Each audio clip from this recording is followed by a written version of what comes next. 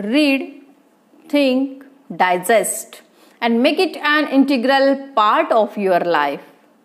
पुस्तक परिचय चॅनलमध्ये आपणा सर्वांचं स्वागत आहे. आज मी तुम्हाला एका छोट्याशा पुस्तकाचा वेगळ्या पुस्तकाचा परिचय करून देणार आहे. त्याचं नाव आहे पुढे जाण्यासाठी मागे वळून पाहताना. साधना प्रकाशनचं हे एक छोटंसं पुस्तक आहे. या पुस्तकामध्ये डॉक्टर अनिल अवचट डॉक्टर अभयभंग आणि डॉक्टर आनंद नाडकर्णी या तीन महान व्यक्तिमत्वांची मुलाखत डॉक्टर विवेक सावंत या महान व्यक्तिमत्वानं घेतलेली आहे. आणि खरोखरच ही मुलाखत खूप सुंदर आहे. यूट्यूबवर अनेक वेळा ही मुलाखत ऐकली. आणि ज्यावेळी ऑनलाईन बाकीची पुस्तकं खरेदी करत होते त्यावेळी हे पुस्तक नजरेस पडलं. त्याचवेळी वाटलं की हे ही मुलाखत जी आहे ती आपल्या संग्रही असायला हवी. आणि मग या पुस्तकाची खरेदी केली. या तीन व्यक्तिमत्वांनी शारीरिक मानसिक आणि सामाजिक आरोग्याच्या क्षेत्रामध्ये महाराष्ट्रात कानाकोपऱ्यामध्ये काम केलेलं आहे.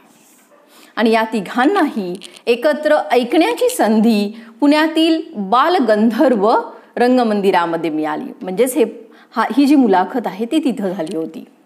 पूर्ण दोन तास झालेल्या या मुलाखतीचं शब्दांकन या पुस्तकामध्ये केलेलं आहे. हे तीन व्यक्ती या तीन व्यक्ती एकट्या नसून त्यांच्याबरोबर काम करणाऱ्या त्यांच्या संस्था आहेत. अभयभंग यांच्याविषयी पहिल्यांदा बोलूया. ते म्हणतात की मी जगण्याविषयी काहीतरी ठरवत होतो त्या काळामध्ये करिअर हा शब्द तर प्रचलितच नव्हता. तरीही या जीवनाचं मी काय करू? हा प्रश्न सतत माझ्या डोळ्यासमोर असायचा. तेरा वर्षाचा असताना ते आणि त्यांचे मोठे भाऊ अशोक वर्धा जिल्ह्यामधील भर उन्हामध्ये सायकलनी चाललेले असतात. मध्येच दोघं थांबतात आणि एक संवाद साधतात. त्यावेळी त्यांचा मोठा भाऊ त्यांना म्हणतो अभय आता आपण दोघे मोठे झालो आहोत. मग आपल्या जीवनामध्ये आपण पुढं काय करायचं हे ठरवूया. ते म्हणतात की त्यांना आठवतंय की ते जिथे उभा राहिले होते ते पिपरी नावाचे एक खेडेगाव होतो. प्रचंड उन्हाळा दुष्काळग्रस्त परिस्थिती अन्नधान्याची टंचाई हे सगळं असताना ते म्हणतात की पहिली गरज आहे ती अन्नधान्याची. अन्नाशिवाय लोकांना अन्न खा अन्न ही माणसाची मूलभूत गरज असताना सुद्धा लोकांना अन्न मिळत नाही. म्हणजेच येथील शेती सुधारली पाहिजे. आणि दुसरे आजारी पडल्यानंतर आरोग्याच्या सेवा मिळत नाही म्हणजे आरोग्य सुधारलं पाहिजे. मग त्यांचा मोठा भाऊ म्हणतो की मी शेती सुधारतो. मग अभयभंग म्हणतात की मी आरोग्य सुधारतो. आणि ते या मुलाखतीमध्ये सांगतात की ते काम मी गेली त्रेपन्न वर्ष करत आहोत. खरोखरच किती अभिमानास्पद गोष्ट आहे. अमेरिकेमधून एकोणीसशे चौऱ्याऐंशी साली ते भारतामध्ये आले. मग त्यांनी विचार केला की महाराष्ट्रामध्ये सर्वाधिक गरज कुठे आहे? मग त्यांना उत्तर मिळालं की गडचिरोली. आणि गडचिरोली या आदिवासी क्षेत्रामध्ये त्यांनी आरोग्याच्या सुविधा देण्याचं काम सुरू केलं. ते म्हणतात की जिथे सुविधा आहेत तिथे जाऊ नये कारण तिथे अगोदरच गर्दी असते. तर या उलट जिथे सुविधा नाहीत तिथे जाऊन जर काम केलं तर तिथे स्पर्धाच नसते.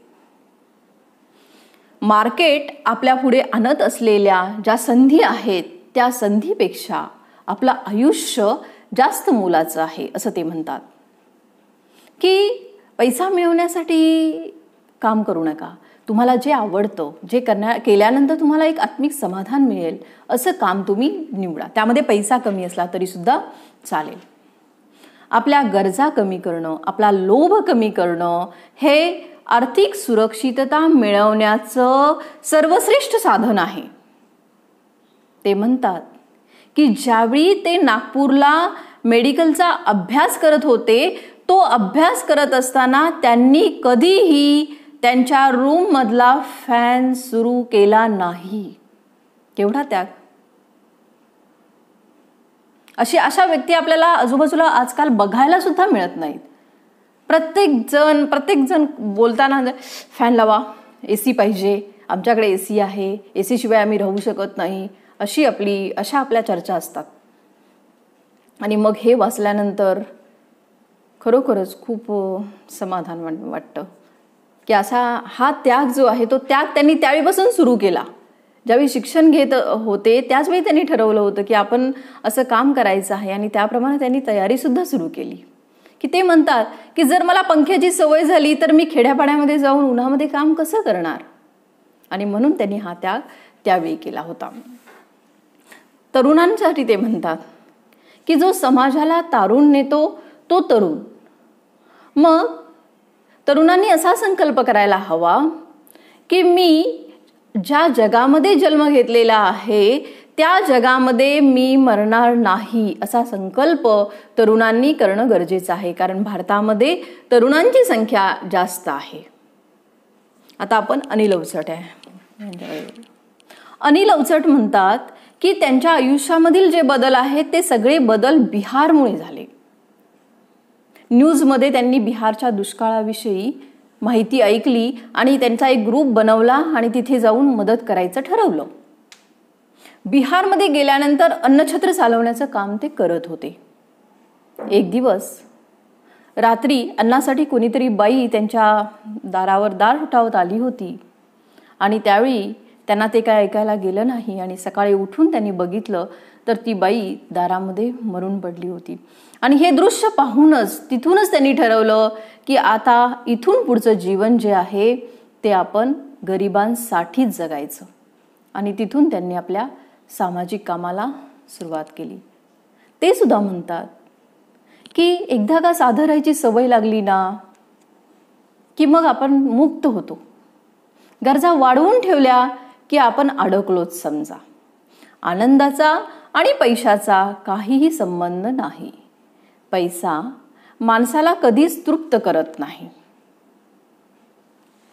आनंद नाडकर्णी हे मानसशास्त्रज्ञ आहेत. ते म्हणतात की अलीकडच्या काळात जर आपण पाहिलं तर व्यक्तिगत स्वार्थ जो आहे तो स्वार्थ वाढत चाललेला आहे. मग ते म्हणतात की वैयक्तिक महत्वाकांक्षेला विस्ताराचं वळण देता येणं शक्य आहे. माझ्या सोबतीला असणाऱ्या समूहाच्या जीवनामध्ये देखील काही ना काहीतरी बदल होण्याची शक्यता आहे. असं जर मी काही केलं तर मी वैयक्तिक महत्वाकांक्षेला हळूहळू विस्तारत नेऊ शकतो.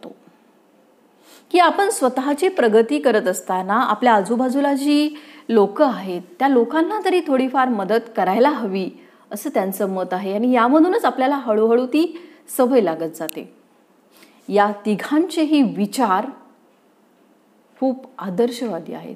प्रत्येक वाक्यामधून काही ना काहीतरी घेण्यासारखं आहे. ज्यांना हा व्हिडिओ आवडला असेल त्यांनी नक्की यूट्यूबवरचा हा जो इंटरव्ह्यू आहे तो पूर्ण बघावा. त्याची लिंक जी आहे ती लिंक डिस्क्रिप्शन बॉक्समध्ये शेअर करते.